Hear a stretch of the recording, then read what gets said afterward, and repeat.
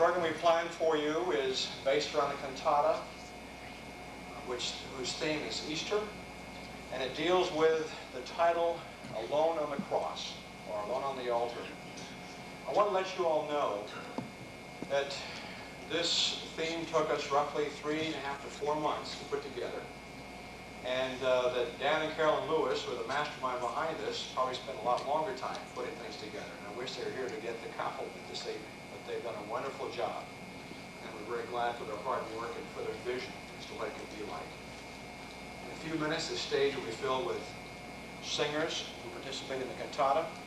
We'll also see some special effects that I guarantee will take your breath away. We don't do this performance to in any way take any credit to ourselves. We're here simply to point you to Jesus Christ and to his incredible love for each one of you. I hope the Holy Spirit fills you and impresses you to understand that for the reason that we do this this evening. We're glad you're here. May God bless you as we continue to worship him and to lift his name on high. Kind Father, we gather on this Easter weekend to commemorate the greatest single event in history. A God-man who came and who died a very cruel death, that we who are his believers could believe in him, and especially in the resurrection that took place on the Sunday that followed. We are full of hope and thanksgiving and gladness for this incredible sacrifice and for the incredible power that brought him back to life to demonstrate to those of us who are believers and who follow that there is nothing more powerful than the God we serve. Tonight, Lord, we give you the glory and the honor for all that you have done for us. And we thank you from the bottom of our hearts. With each worshiper who is gathered here tonight. May the Holy Spirit touch and warm their hearts with indeed the greatest story ever told. As we listen and look at God's grace, which has proven to be truly amazing through the years. I pray for this now, not because I'm worthy, but because I claim this same Jesus as my Lord and Savior, it in his name.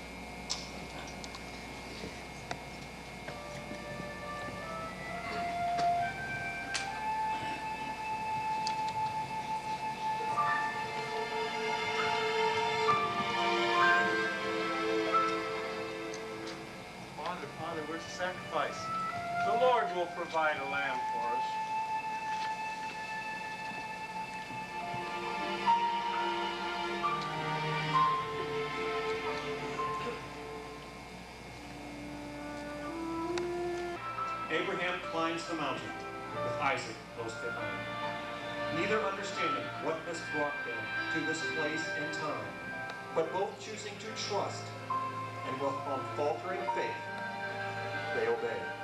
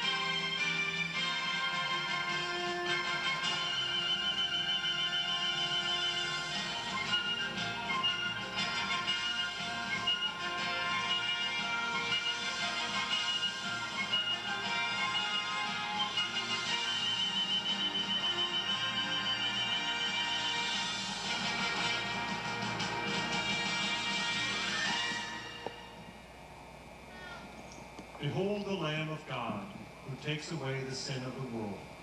The bold proclamation of John, who is called the Baptist, announcing the beginning of Christ's earthly ministry, is now a distant voice. A monumental moment lost in the memory of all but those who truly hear the language of the Lamb.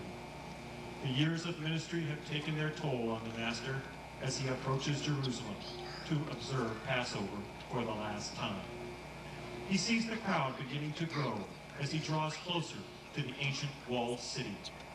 He hears their shouts of praise, yet he knows that their adulation is born of celebration and not sincerity. They seek a king, a warrior to lead them from the hopelessness of tyranny, which they so hatefully endure.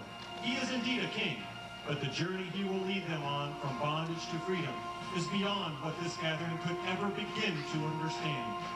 Yet, they sense something great in this man who rides in triumph into this holiest of cities, and with their hosannas, they honor what they think they see.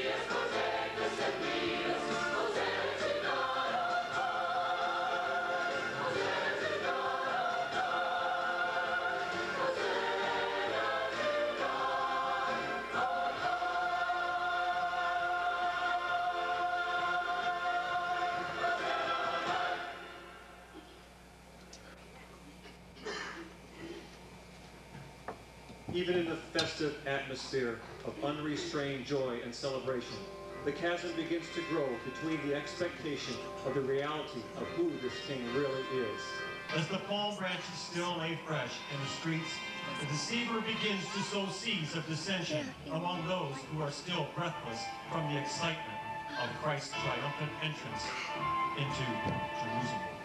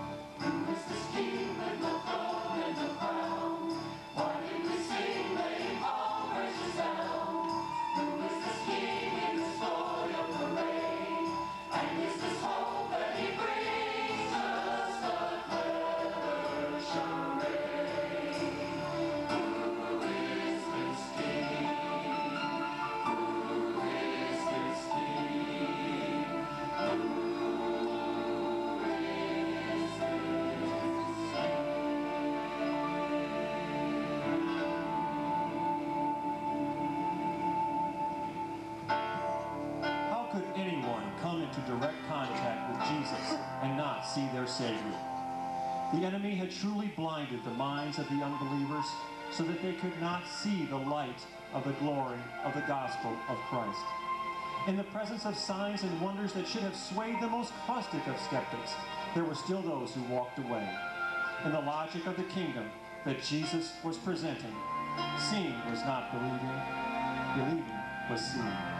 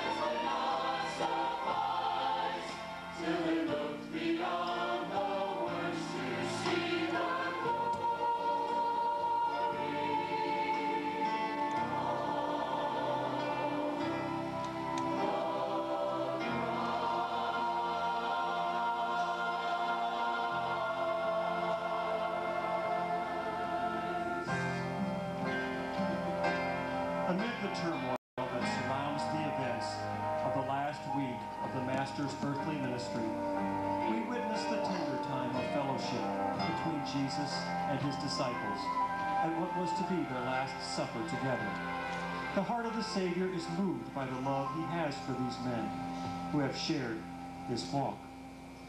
Remember what I taught you. Remember what you've heard. Remember how I've loved you and how I cherished God's own word. Soon I will be leaving with my Father. Chào.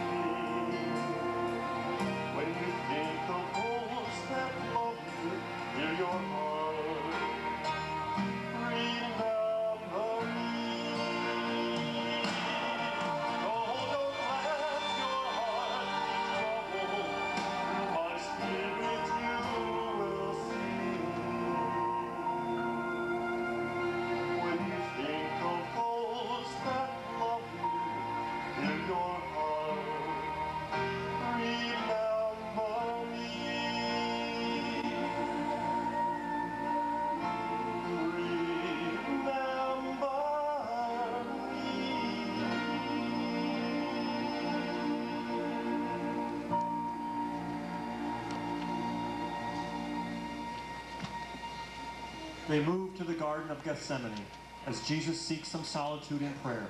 Alone in anguish, he cries out to God to let this cup pass from him. Yet he knows this cannot be.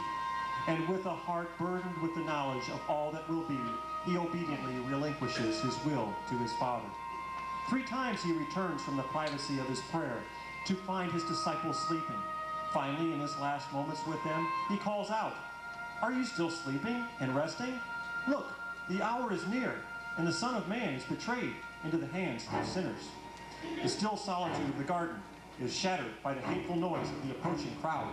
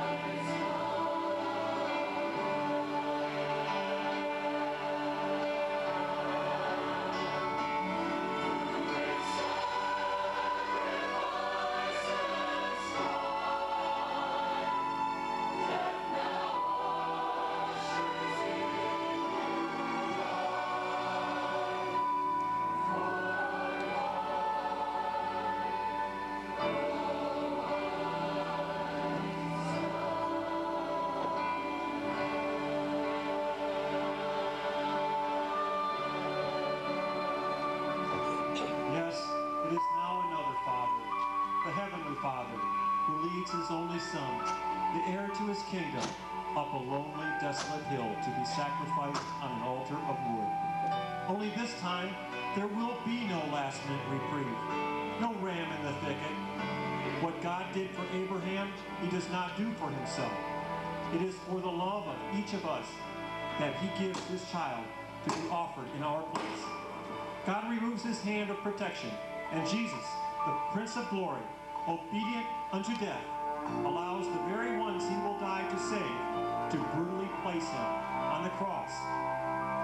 Forsaken and broken, hangs the Lamb of God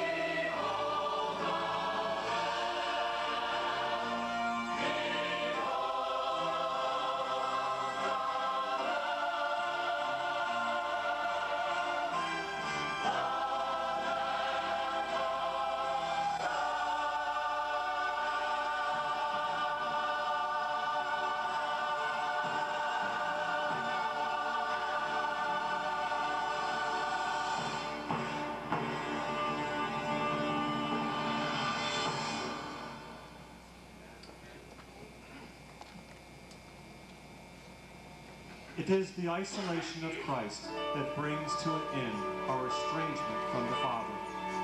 As Jesus gives himself up in death, the curtain in the temple, shielding the entrance into the Holy of Holies, is torn from the top to the bottom.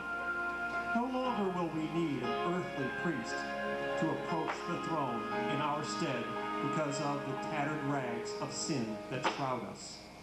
We have access to God clothed in the perfect robes of righteousness, purified by the blood of our Savior, Jesus Christ.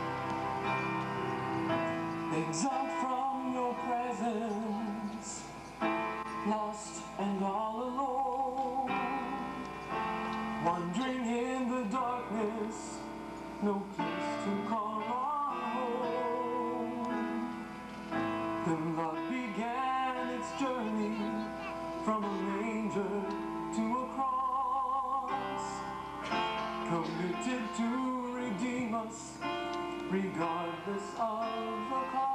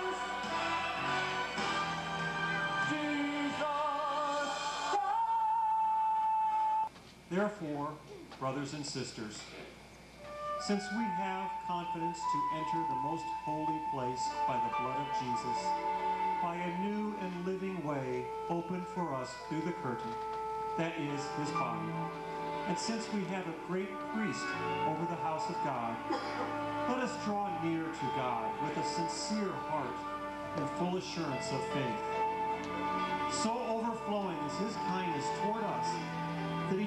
Away all our sins through the blood of his Son, by whom we are saved. And he has showered down upon us the riches of his grace.